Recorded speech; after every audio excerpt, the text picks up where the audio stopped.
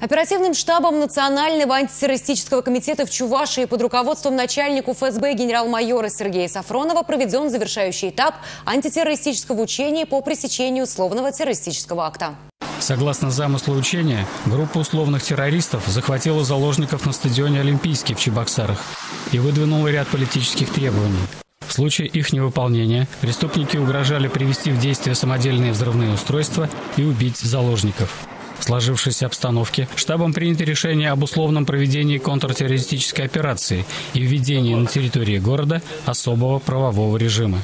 В рамках учебной контртеррористической операции реализованы первоочередные меры по обеспечению безопасности жителей города, спланирован и проведен комплекс оперативно-боевых и специальных мероприятий по пресечению условных террористических актов, нейтрализации бандитов и освобождению заложников.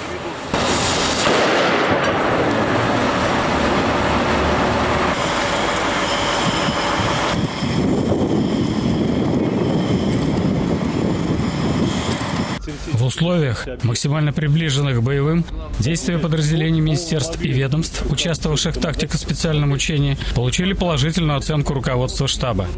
Будем считать, что цели учения достигнуты. Как руководитель я в целом положительно оцениваю результаты учебной контртеррористической операции. Все замечания и предложения необходимо учесть в ходе планирования мероприятий по подготовке сил и средств.